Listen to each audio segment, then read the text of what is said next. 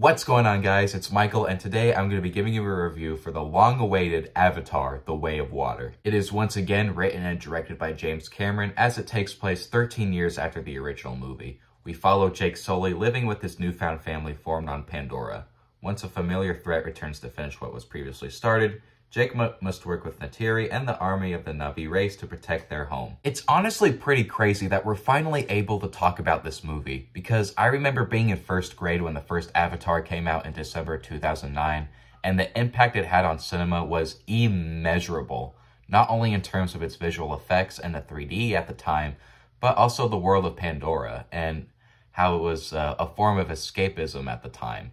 It The first Avatar was honestly what sci-fi epics can truly be in terms of scale. As for the first movie, I find it to be really enjoyable. Uh, obviously, the visual effects are astonishing, despite the story being kind of familiar and told better in movies like Dances with Wolves and Pocahontas.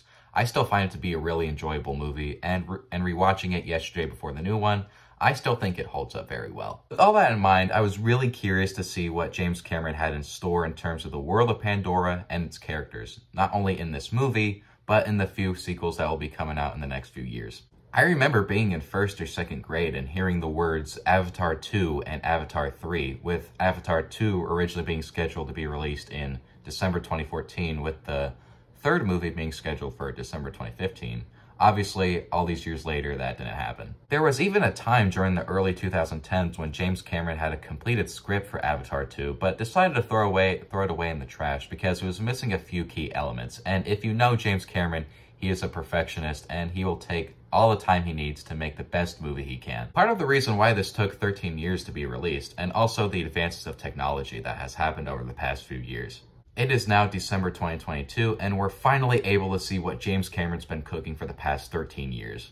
I was able to see the movie last night in IMAX 3D, and after watching it, I could confidently say that this movie was well worth the wait. I'm just going to state the obvious. The visual effects in this movie are absolutely incredible.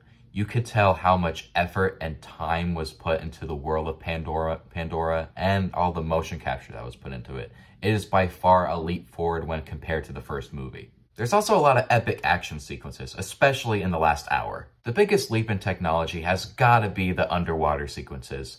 James Cameron could have went for CGI in terms of these sequences, but he decided to go a leap forward and had all the actors train and do all these sequences underwater. And the final result was very impressive and it made the movie even more immersive. This movie really is about family at heart and I love the new additions to the cast, especially the Sully family. They add a lot of heart into this movie that wasn't previously seen in the first movie, or at least not a whole lot of, and it really adds to the movie's emotional weight. Despite the three hour runtime, I was never bored. It's pretty rare to see movies that have such long runtimes take advantage of that, but movies like The Batman and The Way of Water just really comes to show how much can be accomplished with runtimes that are like two hours and 55 minutes to up to three hours a lot can really be accomplished if you take the time. If you're a fan of the first Avatar movie, this is a must watch. It is a great sci-fi epic from one of the greatest directors of all time, James Cameron. This is a movie that must be seen on the biggest screen possible, especially in IMAX 3D.